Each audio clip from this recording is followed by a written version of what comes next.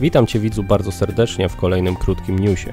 Dzisiaj porozmawiamy sobie o Szymolu, czyli streamerze, który znany jest z dość kontrowersyjnego kontentu. Szymol jest streamerem oraz byłym zawodnikiem Fame MMA. Jego content na platformie Twitch oraz Kick był oraz jest dość mocno alkoholowy. Z tego powodu otrzymywał on również bany na platformie Twitch. Ostatnim czasem był on dość nieobecny na platformach internetowych, ponieważ zrobił sobie krótką przerwę. Jednak z tego co możemy zauważyć w internecie, wrócił on z grubej rury. Jak to mówią, gdy drzwi są zamknięte, wejdź oknem lub wyważ drzwi. Właśnie to stało się w tej sytuacji. Najnowsza aktywność Szymola w internecie pojawiła się na Instagramie, na którym wrzucił on stories sugerujący, że prowadził on samochód pod wpływem alkoholu. Na zrzutach ekranu widzimy alkohol oraz szybką prędkość sfotografowaną przez streamera. Sam opis drugiego zdjęcia może świadczyć, że kierował on pod wpływem alkoholu.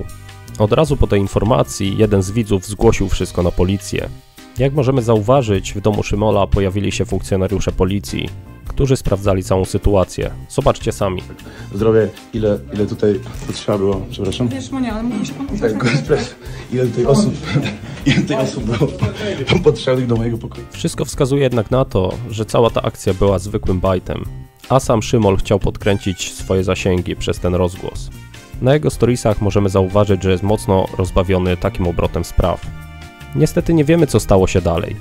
Jak myślicie, czy ten sposób szukania rozgłosu w internecie jest dobrym sposobem na osiągnięcie sukcesu? Zostawcie swoją opinię w komentarzu. Pozdrawiam.